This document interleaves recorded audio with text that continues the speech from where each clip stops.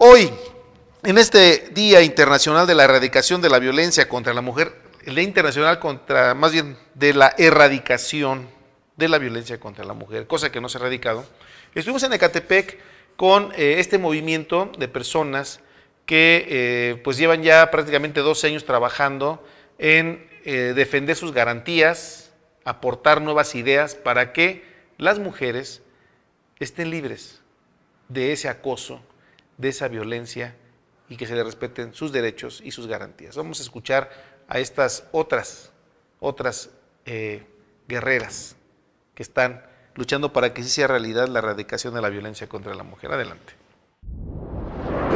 ¿Qué tal amigo? Nos encontramos con Zaida Ruiz y bueno, pues ella nos va a platicar en este marco del Día Internacional de la Erradicación de la Violencia en contra de las Mujeres, eh, pues una luchadora social, política social que ya conocemos, que hemos tenido el gusto de platicar en otros tiempos con ella, pues hoy, hoy en esta conferencia tan importante forma parte de un grupo de mujeres empoderadas que están eh, luchando para que esto pues siga adelante, siga la erradicación, que se acabe la violencia y bueno pues eh, antes que nada te quiero agradecer que nos hayas el espacio para platicar contigo y qué es lo que andas haciendo ahora en esta vida social con respecto a la violencia, ¿cómo te ha ido? ¿Tú qué estás haciendo? ¿Esto de qué se trata?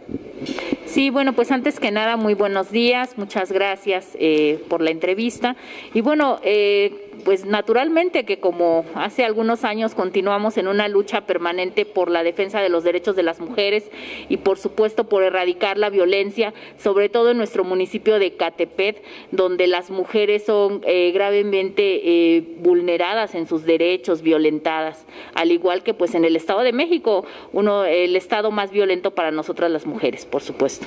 Bueno, pues también he sufrido este violencia política, eh, recordarás que en el 2017 eh, sufrí amenazas, ¿no? Cuando contendía precisamente por un distrito local en Ecatepec y bueno, pues tuve amenazas. Posteriormente también en el 2019 también sufrí violencia por parte de elementos de seguridad pública municipales en la contienda eh, para los copaces.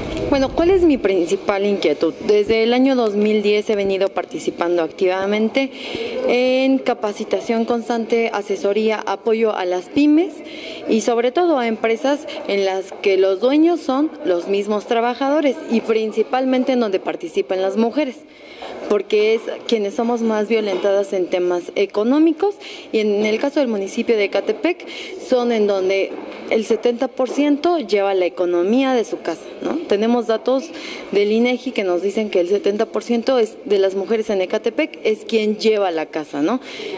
Sí vivimos en un país machista, en un Ecatepec machista, misógino, sin embargo, las mujeres llevan mucho la batuta en el hogar.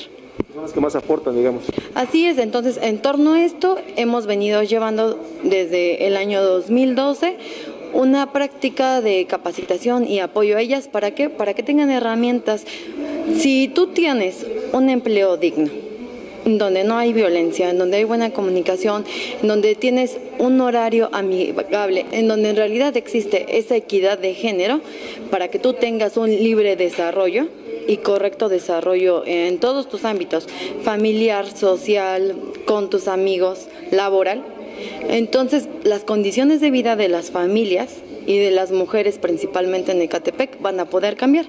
Y en torno a esto, pues llevamos prácticas, incluso ahorita tengo una página de Facebook en donde he estado lanzando algunos cursos gratuitos, asesorías, Zaira Economías Alternativas.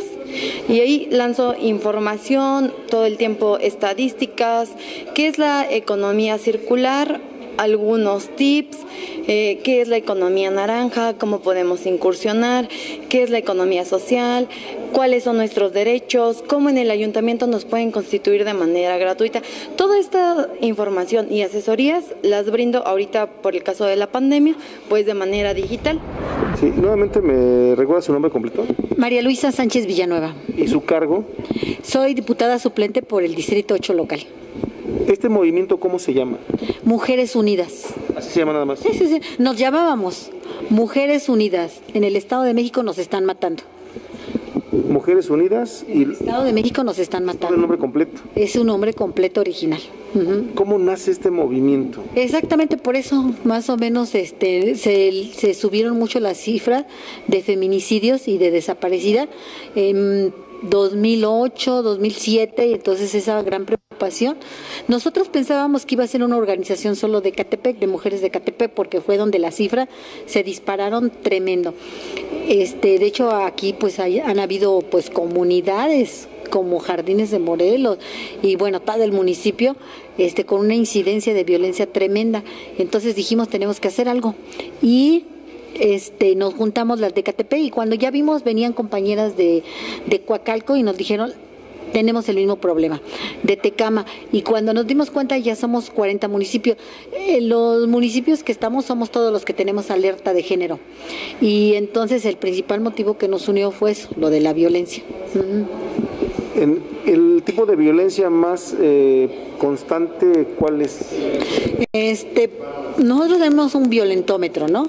Que, editó el Instituto del Poli, en que va del empujón, del, insulto, de este, del otro, y ahí tenemos las mayores incidencias y creo que el 100% de las mujeres lo sufrimos hasta cuando vamos manejando. Pero este, los más graves pues es llegar al feminicidio, el cual Ecatepec pues siempre ha tenido cifras muy altas, sobre todo desde el 2007 a la fecha, aunque hoy vemos un poco que está bajando, pero no, no, no se ha erradicado el problema, lo seguimos teniendo y bueno, pues hemos implementado diferentes acciones y diferentes programas para abordar ese tema. ¿En qué año nace este movimiento? Este, bien consolidado como 2008. Empezamos a reuniones, a platicarnos, en conformarnos. ¿De 12 años? Sí, sí, sí, sí, sí, ya, ya, ya, ya tenemos. Y, perdón, ¿y en esos 12 años han tenido alguna violencia por este movimiento? No, no, no, nosotros nos hemos conducido este dentro de los canales de lucha son muy pacíficos. Ahora sí como dice Andrés Manuel, no hemos roto ni un vaso, ni un vidrio, nada. No, no, no, nosotros somos muy pacíficas, aunque somos muy contestatarias y aunque somos muy rebeldes, pero lo hacemos a través de documentos, de, de, gestiones, de defensa. Eh, no, no, no, nunca, o sea, nosotras no somos esas que grafitea, estamos en contra de que el feminismo se manche con ese tipo de, actos. Y bueno, pues aquí están los testimonios y bueno, pues eh, esos, estos movimientos nacen precisamente por esa necesidad de, erradicar la violencia. Y vean eh, cómo de pronto a mí, se me antoja eh, pues que se canalice mucho más el, esfuerzo intelectual y físico de las mujeres en exigirle en este caso a los que hacen las, las constitución, a los diputados, a, los gobernantes, que se les garanticen sus derechos, o sea, cómo las mismas mujeres pelean por sus derechos. Esa es la, gran eh, este, incógnita. Y bueno, pues ahí está el testimonio, ellas eh, siguen trabajando, estaremos dándole seguimiento a su trabajo.